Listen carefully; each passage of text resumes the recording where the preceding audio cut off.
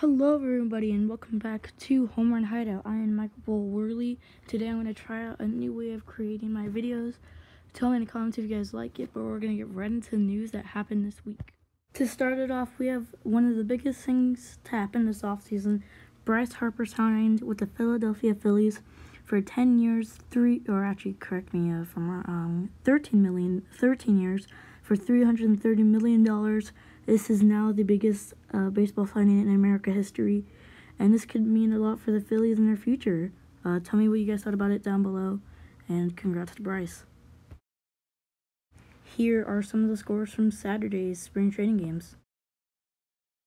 Here are the games from Friday. Here are the games from Thursday. And the games from Wednesday. Here are some of the injury updates regarding some of uh, pitchers and hitters. Alright guys, that was the video. I hope you guys enjoyed. If you liked how I made this video, please make sure to tell me down in the comments below.